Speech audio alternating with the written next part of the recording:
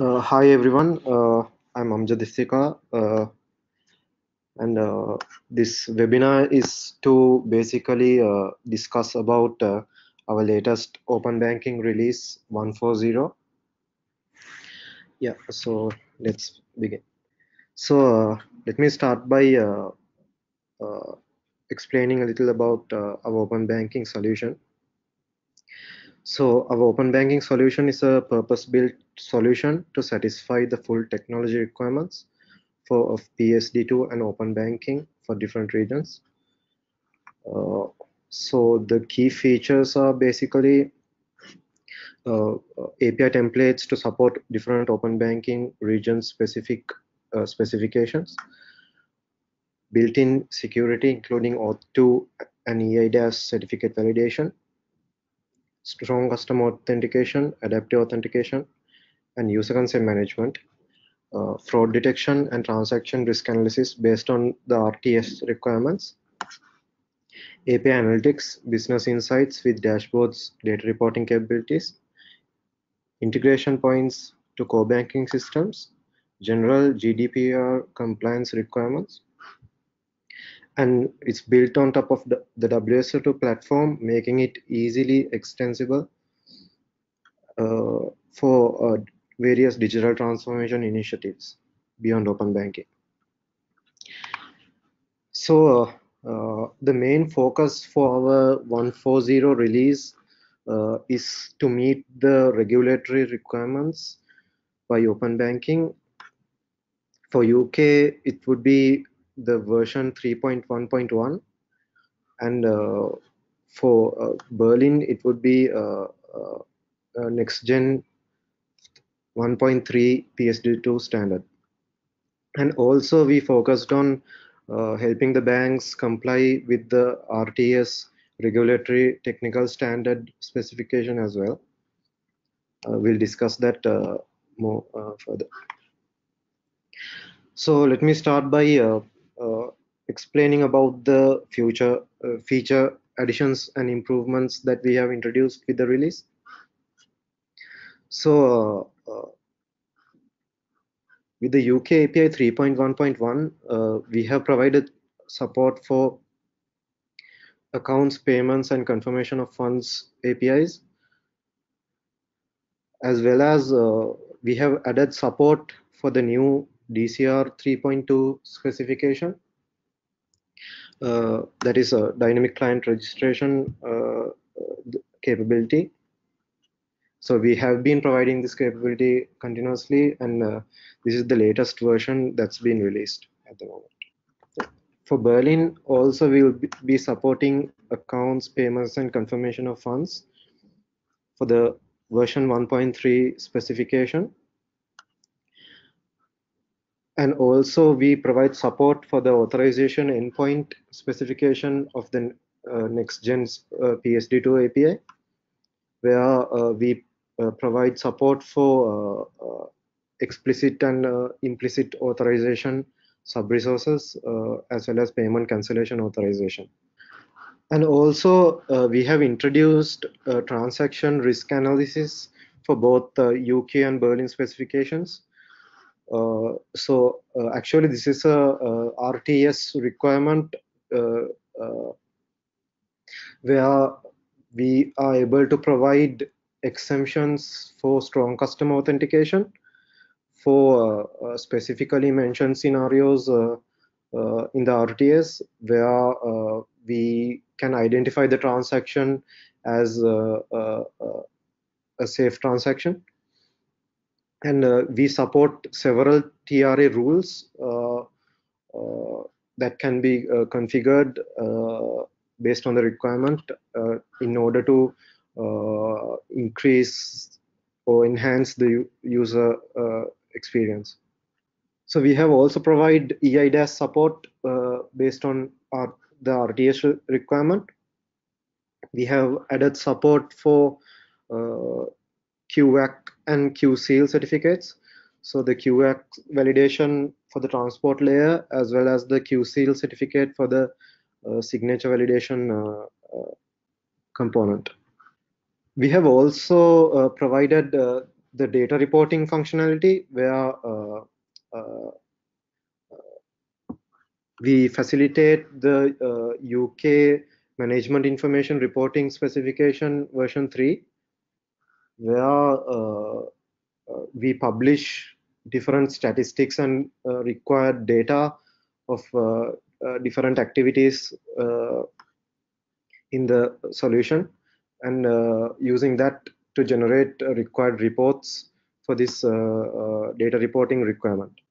So a couple of other features based on the new specification, we can we for the UK specification, we had to restrict the uh, signing algorithm to uh, PS256 and uh, we have provided the ability to make that restriction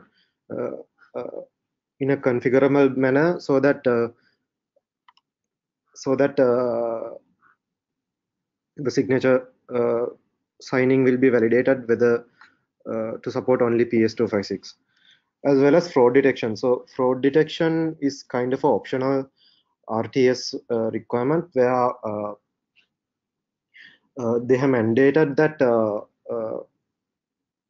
banks should uh, monitor the transactions to see whether there's a, risky transaction or else uh, uh, if the transaction can be recognized as indeed a safe transaction based on this RTA specification, uh, SCA exemption too could be given. So we have provided the support for that. Uh, so uh, we support several uh, fraud detection rules by default and uh, based on those once they are configured we can either uh, drop a transaction that's uh, recognized as a fraudulent transaction or else uh, provide an exemption for SCA if we identify as a safe transaction based on the guidelines provided in the uh, uh RTS specification. Yeah, so uh, moving on, we have also provided uh, developer experience enhancements.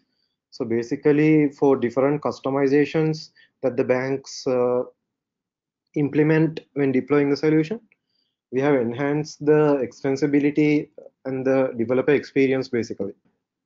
Request validations.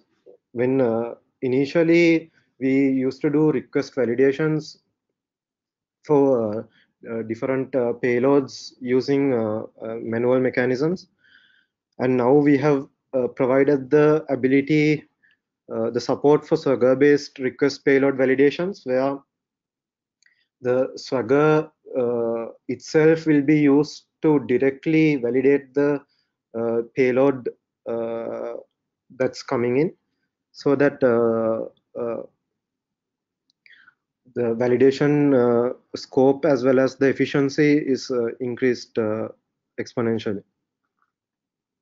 So this support is provided for all specifications uh, for both accounts and payments. And also uh, the authentication endpoint. Previous in our previous versions, we have provided the authentication endpoint where uh, when we are doing the deployment, we'll have to uh, uh, make many customizations and uh,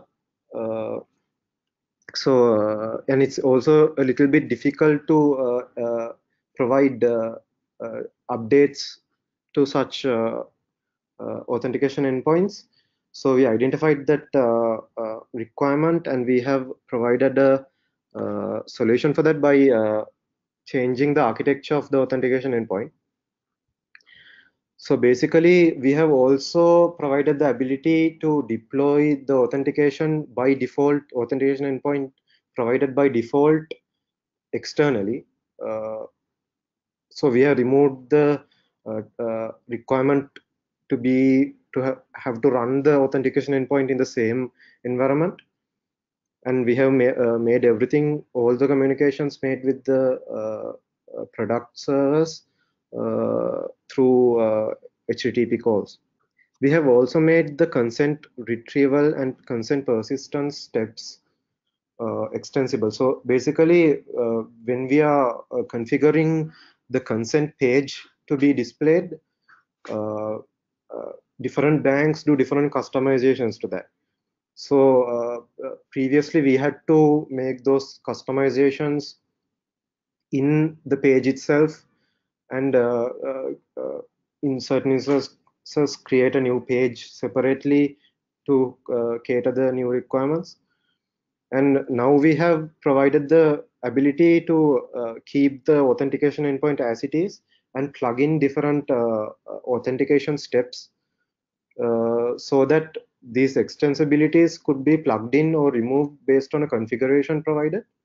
Yeah, so this is there for both before showing the consent page as well as after uh, the user provides the consent approval or denial so uh, if a bank needs to do a customization after that as well, we uh, we have provided the ability to extend that in a pluggable manner.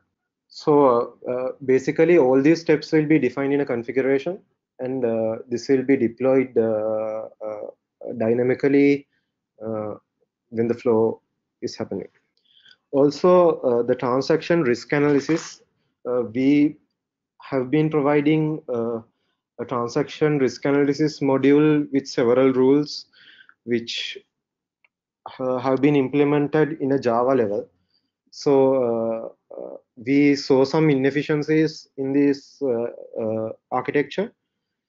So we uh, decided to move this into the open banking business intelligence module. So let me explain about this business intelligence module initially.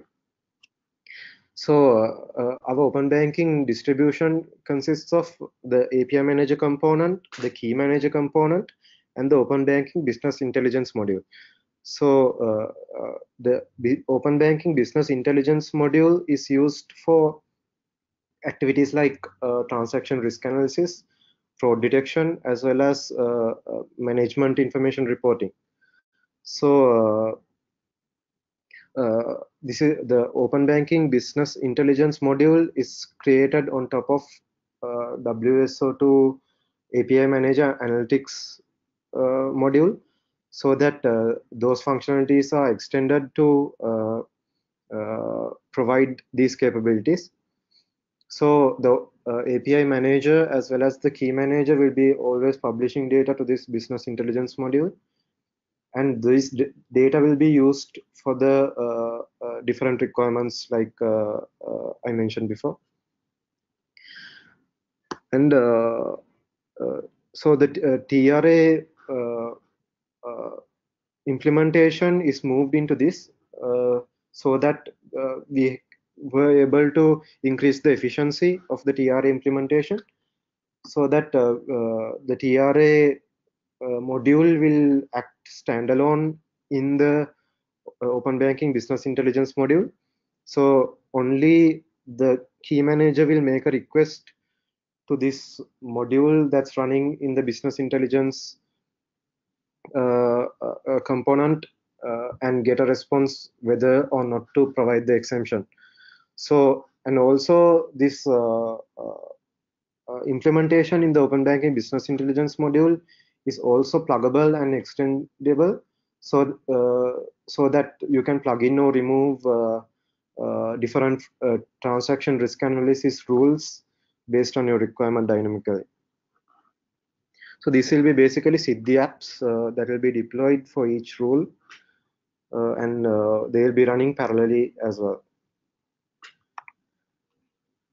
And also authentication steps extensibility so uh, currently, if we need to write a new authentication step, so that uh, uh, uh as an example, a new uh, authentication step where the user have to authenticate,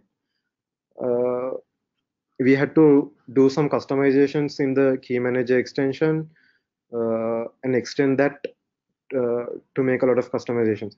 So we have made that uh, pretty much easier by uh, making that configurable and uh, to easily uh, extend the key manager and uh, create a, a new uh, authentication step. So uh, other improvements uh, uh, include basically we have introduced some REST APIs for operations in WSO2 Open Banking, where, for example, endpoint to retrieve third-party TPP information. So in the implementation, we have provided this API where we could get uh, information about a TPP uh, by calling an endpoint within the solution. And uh, uh so this, this information is used for uh, uh, places like the authentication endpoint and similar requirements.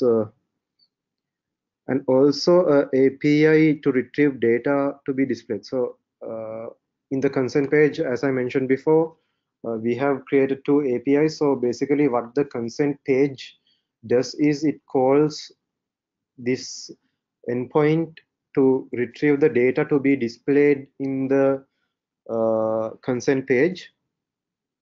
And then after the user approves or denies the consent, uh, these data will be sent back to another endpoint uh, which in turn would uh, uh, implement the different authentication steps I mentioned before that have been configured. So uh, actually what we have done is we have moved all these logics from the page actually to the API to a API level inside the product. And uh, uh, also we have improved the developer experience of this consent page because we recognize that most of our customers were facing this issue uh, we have uh, uh, uh templated all these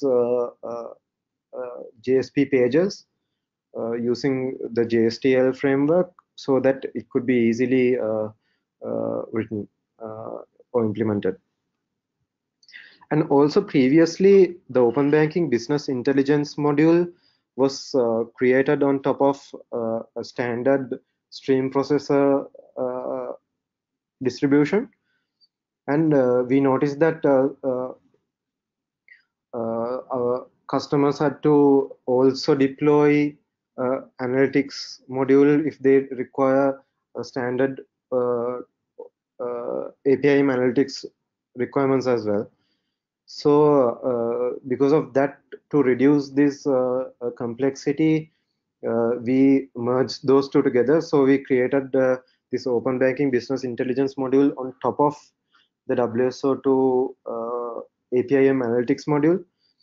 Uh, so that uh, these analytics functionalities are also available for the uh, in the OBBI distribution without having to configure a separate uh, uh, API analytics uh, node.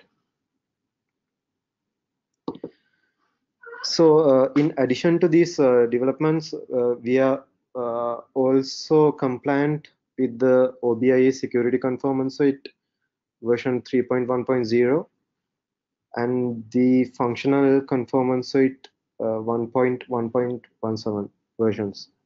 Yeah, uh, so the, as the next steps, uh, you could uh, read our technical blog on this release. Uh, and also uh, our documentation would provide uh, these features and functionalities in detail. And if you want to learn more about the WSO2 open banking solution, please do visit our solutions open banking page. So uh, if you'll have any questions, please. Yeah, I, I got one question. Uh, can you demo some fraud detection scenarios? So basically, uh, at this moment, uh, I won't be able to demo because uh, I don't have a setup at the moment. But uh, we could reach back to you later if you require to to a demo of some fraud detection scenarios.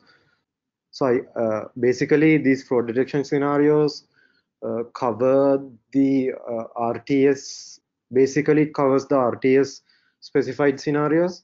As an example, transaction amount or else uh, uh, the uh, location of the payer of payee kind of scenarios. So we can go in detail. We also have an article regarding these fraud detection scenarios. So at the moment, I'm afraid I could I am unable to show a demo.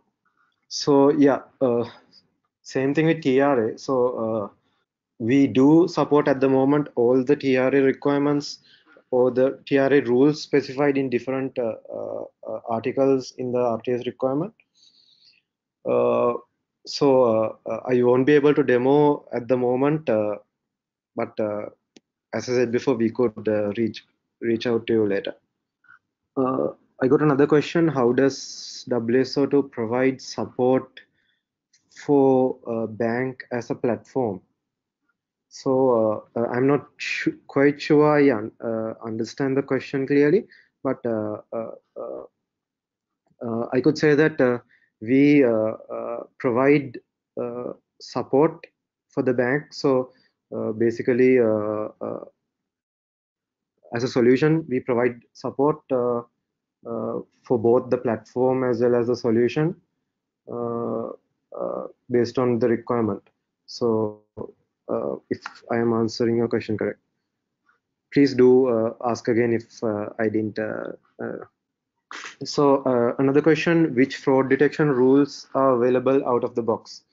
So basically we provide about uh, 10 to 15 fraud detection rules out of the box so uh, uh, so these fraud detection rules are identified uh, based on RTS requirement as well as our research to cover uh, the requirements and also it's in a pluggable manner. So uh, it will be uh, pluggable as different uh, template apps and uh, Uh, you can deploy or undeploy these rules uh, dynamically. Uh, and also these all these rules are available in our article that's available in our page on uh, uh, fraud detection, uh, we, we can reach reach back to you and provide more information if needed. so basically, all the details on these fraud detection rules are available in this article. So uh, going back to this uh, uh, question about how does WSO provide support? basically, we have a, a support team dedicated for open banking as well as uh, the different platforms that we're using. So uh, uh, we we are providing support 24 hours for our solution. So another question, whether WSO2 has separate APIs that can be integrated with ASPSP existing authorization server fraud detection systems, consent management system. Yeah, definitely. So uh, we we provide the ability to uh, uh, integrate uh, with existing uh, systems. So in order to make these integrations, we use our enterprise integrator.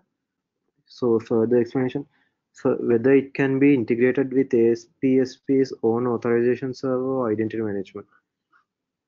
Uh, yeah, that also could be done. So basically, we'll be doing a, a, a, a when we are doing the deployment, we'll see the requirement or else see the existing authorization server identity management system. And based on that, we'll recommend uh, how this integration can be done. So answering your question direct, yes, we can definitely do this.